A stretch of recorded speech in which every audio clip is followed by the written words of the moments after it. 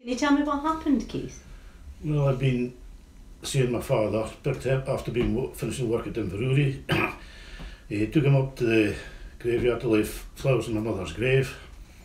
Went and had a supper with father after that, and then came back to Huntly, had my shower, come down the stairs, and the next thing I remember is being in Ward 20 ARI.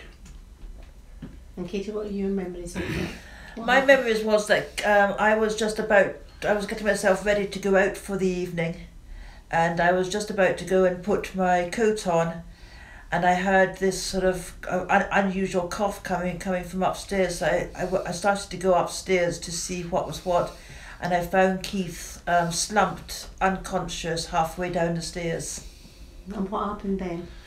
Um, after that, I um, immediately phoned the dial nine nine nine because I couldn't rouse arouse Keith at all, and the nice lady on the other side of the other end of the telephone asked me to, try and get Keith into weird and wonderful positions, which I couldn't do because Keith was just a dead weight.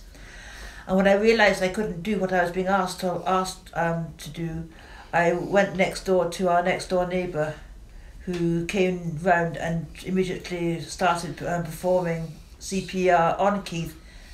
We were very, very lucky insofar as our next door neighbour was in the oil industry at the time, and so he had gone through a, an advanced first aid course. Hmm. And then the, happened when the ambulance? Did the ambulance take a long time to arrive? or- No, the ambulance were, were with us very, very quickly. They were with us actually in under. It, it seemed like an like an like an eternity to me, but they were actually there within five minutes, and then there was a GP with us within ten minutes. Okay. So they continued CPR on. They did, yes. So if, if it hadn't been for our next door neighbour f- quick thinking to start CPR on Keith initially, Keith wouldn't be here today because the ambulance driver said that um, five minutes would have been too long, even even in Keith's situation, because he was it was so severe.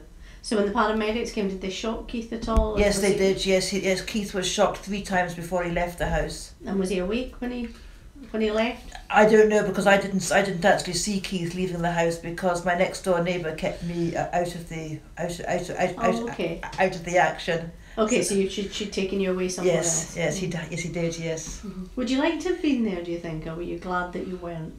I I think in some ways I'm glad that I wasn't because I was I was I was determined that I was I wanted to go in the ambulance with Keith to um, the hospital, but the GP said no, you don't because you just don't know what's going to happen in the ambulance, and so um, I'm, pro- I'm in some ways in some ways I wish I wish I wish I wish I wish I was, but we were so lucky having such an understanding next door neighbours.